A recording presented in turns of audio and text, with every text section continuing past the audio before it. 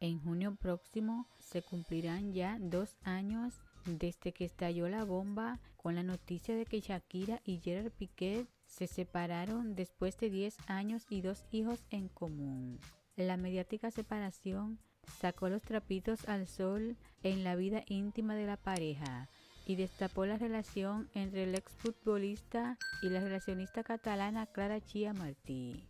Pero como vaticinaba en el 2023 el niño prodigio, esa no sería la única aventura del empresario de 36 años.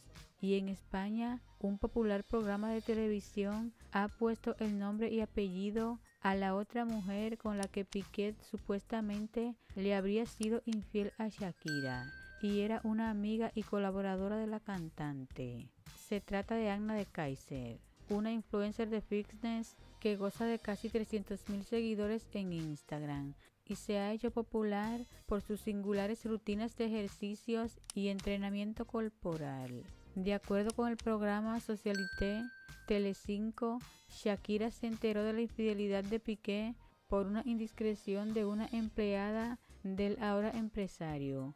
Sentía lástima por ella y se lo contó, aseguró el periodista argentino Javier Seriani al ofrecer la noticia en dicho programa. Según dicha fuente, la supuesta infidelidad habría ocurrido dos años antes de que Piqué hubiese iniciado su relación amorosa con Clara Chía.